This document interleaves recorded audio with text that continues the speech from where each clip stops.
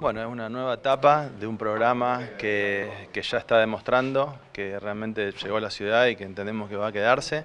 Es un programa que, se sustenta en, los acuerdos, en un momento de coyuntura económica compleja, donde participa el Centro Unión Almaceneros, más de 100 productos, más de 100 almacenes, el Estado local acompañando, en esto que nosotros siempre decimos que nos interesan las cadenas de comercialización justas, muchas veces se habla de cadenas cortas. A nosotros nos interesan las cadenas justas, donde haya buenas relaciones de precios de, los proveedores y cada uno de los distintos participantes. Como en este caso, el comercio barrial, el comercio local este, y el Centro Unión Almaceneros. Estamos hablando de una diferencia de cuánto con las cadenas grandes, digamos, ¿no? Bueno, en este momento entiendo que estamos en el orden de un 10% aproximadamente.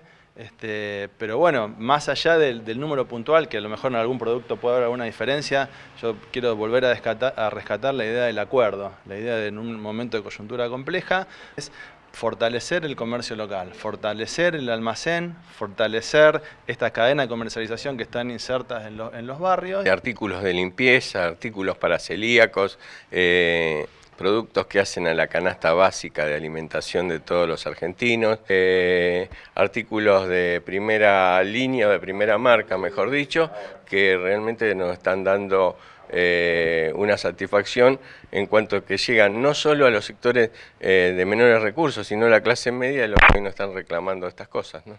¿Qué cantidad aproximada de comercios son los que están adheridos y qué cantidad de productos? Bueno, empezamos con la primera etapa, le hicimos con menos de 50 comercios y menos de 50 productos. Hoy estamos por encima de los 100 negocios, eh, tenemos 105 productos que si lo desagregamos por sabor, fragancia, estamos por encima de los 120.